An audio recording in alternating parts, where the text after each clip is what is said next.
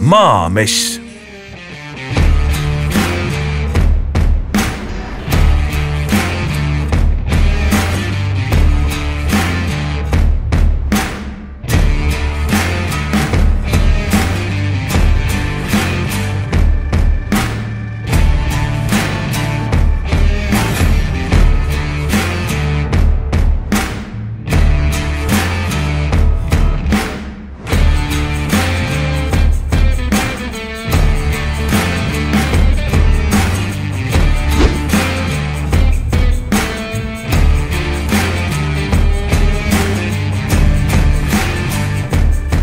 päris ilmaasjata ei tulnud ka siia linna nii hulga tehnikaga, et äh, me tulime ikka millegi järele.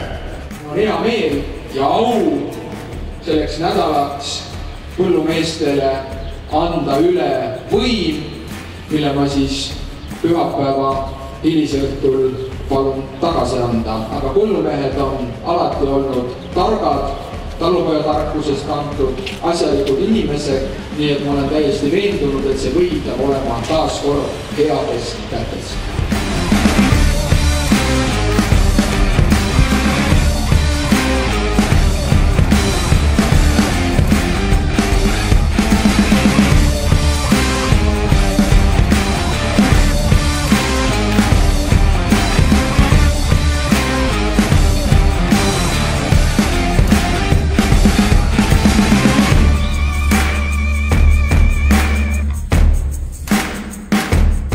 Maamess üheksateistkümnendast kahekümne esimese aprillini Tartu messikeskuses.